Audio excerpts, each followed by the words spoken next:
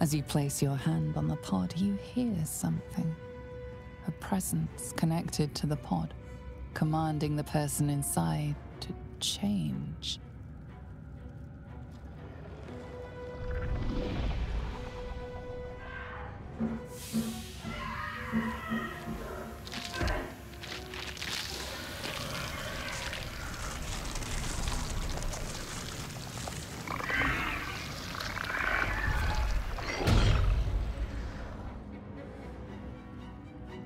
Strat! Is this to be our fate? The newborn mind flayer stares at you, weak and dazed.